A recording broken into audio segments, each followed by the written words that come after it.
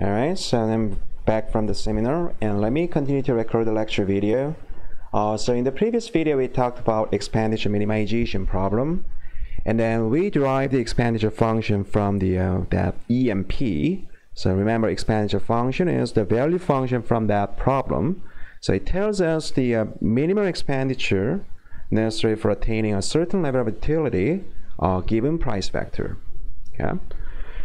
All right, so uh, in this video, what I'm, what I'm gonna do, so now we are going to make use of those properties of expenditure function to derive properties of Hicksian demand, okay? Remember, Hicksian demand is a solution to uh, the EMP.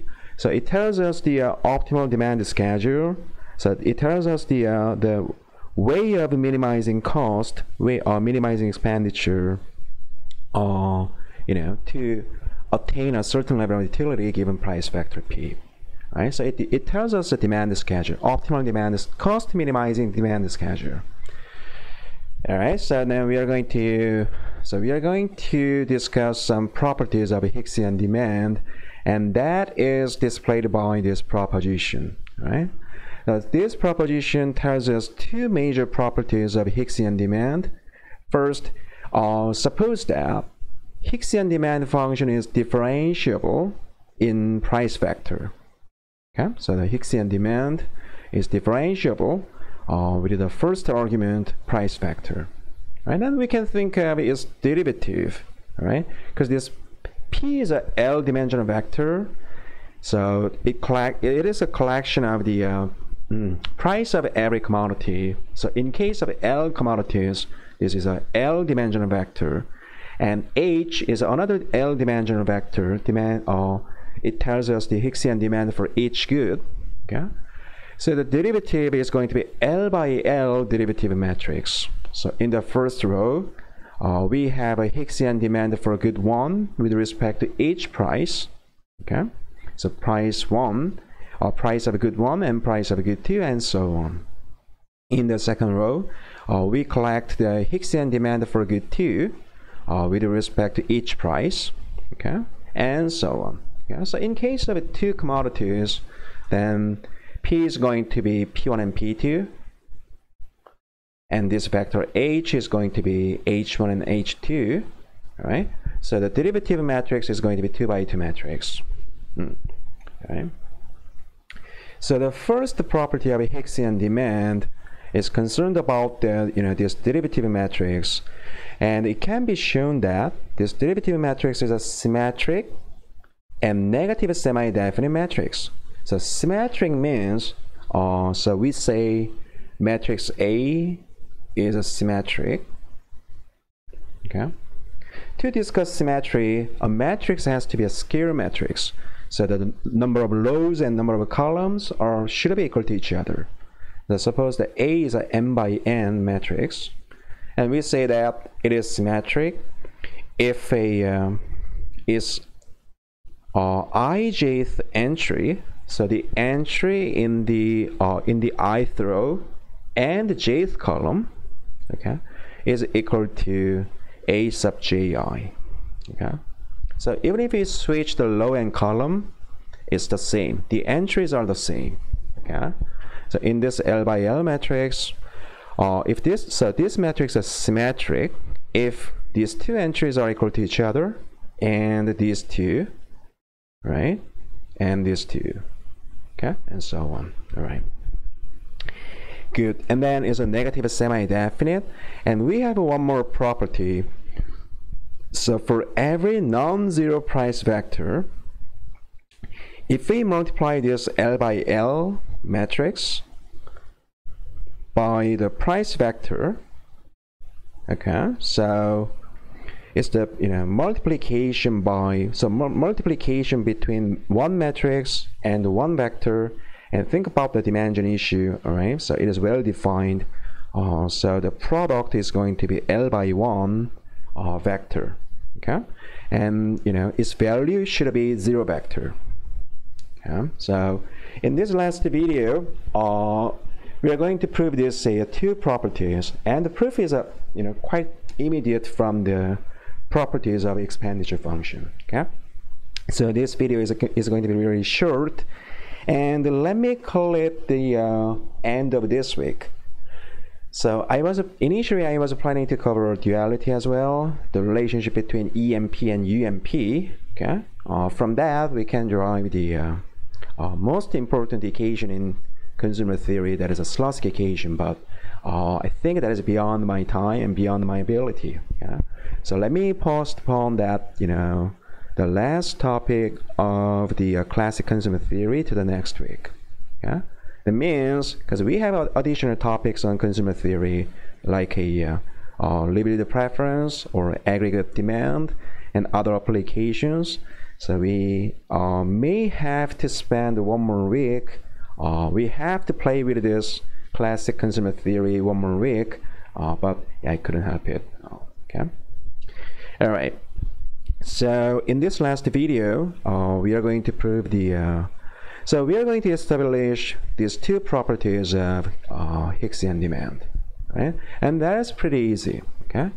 First, if we think about the derivative matrix of Hicksian demand, uh, that is a Hessian matrix, so second order derivative matrix of expenditure function okay? And remember that it is immediate from Shephard lemma. Uh, lemma tells us uh, if we take the derivative of expenditure function with respect to PL then we obtain Hicksian demand right so the derivative of Hicksian demand is a second order derivative of expenditure function right so this L by L matrix is going to be a second order derivative matrix. In other words, Hessian matrix of uh, expenditure function with respect to the price. All right, and then we know that expenditure function is concave uh, with respect to the price, right? So it's a Hessian matrix must be negative semi-definite, right? So due to the equivalence between these two matrices, these two matrices are, so the negative semi-definiteness of this matrix D, Hicksian uh, matrix, derivative matrix of Hicksian uh, is, you know, uh, immediate consequence from the um, from the fact that expenditure function is a concave function. Okay, so that is cool. So the first result, the first property is done. Now the uh, to see the symmetry of this matrix, okay, and think about the uh, you know you know uh, two commodity case, okay, then uh, you know this derivative matrix is going to be h1 over p1 and h1 over p2 and h2 over p1 and H2 over P2. So it's going to be this 2 by 2 matrix. All right. And for symmetry, we have to show that these two off-diagonal entries are equal to each other. Right. Then, but H1 is the derivative of the expenditure function with respect to P1. All right. And we take that derivative and take the partial uh, one more time with respect to P2. Right, so this is going to be a cross partial uh, of the expenditure function with respect to P1 and P2. Okay, and likewise, if we think about the you know another di off diagonal entry, and this guy is cross partial of the expenditure function with respect to P2 and P1 okay? But when we compute cross partial you know the order of differentiation does not matter right? And that is guaranteed by Young's theorem. So the theorem states that you know the order of differentiation does not matter uh, when we compute uh, cross partial right? So Young's theorem guarantees that you know these two off diagonal entries are equal to each other okay so that establishes the uh, symmetry of the derivative matrix of Hicksian demand. Yeah, so we are going to discuss several implications of this, you know, negative semi-definite or uh, negative semi-definiteness. Uh, it leads to very important theorem of of demand. Okay, and then um, so yeah, we are going to discuss that in the next video. Okay, and then let me let me finish this video uh, with the proof of the last property. Uh, so you know the derivative matrix times price vector should be a zero vector. All right, and then it is from the fact that Hicksian demand is homogeneous of degree zero. Oh, this is typo. It should be Hicksian demand is homogeneous of degree zero in the price vector only, not U. Okay, so in P. Okay, and the Euler's formula. Okay, and remember that. Um. Okay, so. Okay, um all right uh, think about the uh, so think about the solution to this EMP uh, P dot X we want to minimize this quantity uh, given this constraint. All right so solution to this problem is Hicksian demand. All right and then think about H of alpha P comma U. Right that is the solution to ooh, solution to this problem. Minimum of alpha p dot x given u of x is higher than u. All right and then if we compare these two Hicksian demands uh, you may be able, able to realize that there is a essentially there is a no difference because the second problem is a scalar multiple of the first. Okay so if we so if we figure out so if we attempt to figure out the solution to this problem we may disregard this alpha first. Okay because this alpha is just a scalar multiple right and then after you know after disregarding this alpha there is a no difference between these two. So the solution to this problem multiple the problem is the same as the solution to the original problem okay? So from that from this simple observation, uh, we can see that Hicksian demand is homogeneous of degree zero in the price vector. Okay. Mm. All right, then applying the Euler's formula, okay, homogeneous of degree zero means, uh, you know, the derivative of this Hicksian demand, so dp h dot p is going to be zero. Okay? So we obtain the last property.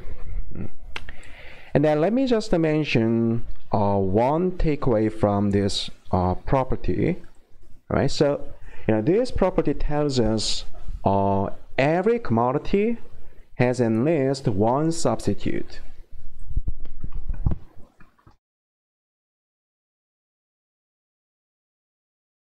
So every commodity has at least one substitute. That is the implication of this property. Uh, to see this, um, so suppose that there are two commodities, then you know this is um, so in case of two commodities, two commodities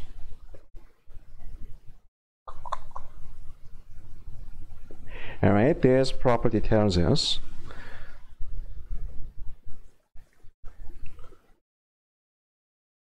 this property tells us okay h1 p1 h1 p2 and h2 over p1 and h2 or p2 all right? And then we multiply by p1 and p2 okay?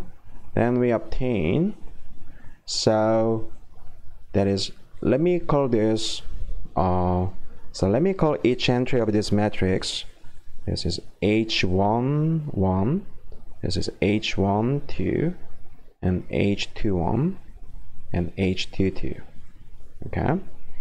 So after multiplication of these two matrices, we obtain H11 P1 H12 P2 all right and in the second row we have H21 P1 H22 P2 okay and those two are equal to zeros.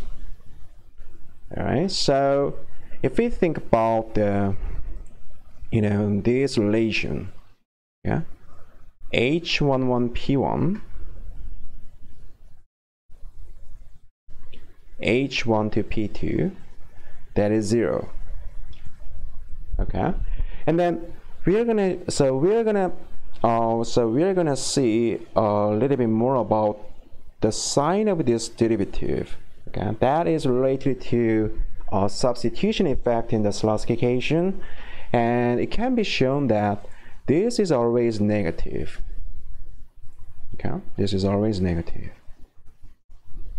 okay and the p1 and p2 are positive right? So to satisfy this equation h12 right? So that measures responsiveness of the Hicksian demand for good 1 uh, to a, a, change in the price of good 2 okay? So it's more like a uh, you know the cross substitution effect between these two commodities and it should be positive okay? So if h sub 1 2 are positive okay if that quantity is positive we say that good 2 sorry good 1 is a substitute of good 2 okay mm. So that means if P2 increases, the demand for good one, Hicksian demand for good one increases. Okay, so uh, the demand for one good and the demand uh, price of the other good uh, moving in the same direction. So that is a uh, consistent with the with the definition of substitutes. Yeah, so uh, all right. So in that sense, good one is a substitute of good two. Uh, in case of three goods, we are gonna have this one H11 P1, H12 P2, and H13 P3. That should be equal to zero. Alright? Which means we know that this is uh, this is negative. Okay? So to satisfy this equation, at least one derivative must be positive. Okay? So good 1 is a substitute of good 2 or should be a substitute of good 3. Okay?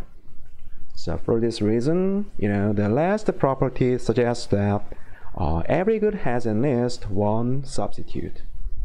Alright, so as I told you, this is going to be the last video. Uh, yeah, I'm, I'm planning to take one supplementary video regarding uh, envelope theorem. Okay, so I hope you enjoyed the series of video this week and we are going to discuss a little bit more about this UMP and EMP by going through some exercises uh, in the live lecture next week.